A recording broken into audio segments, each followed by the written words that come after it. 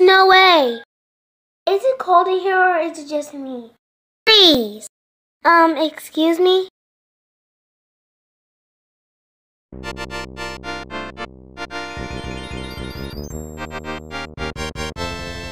Don't forget to like, comment, share, and subscribe.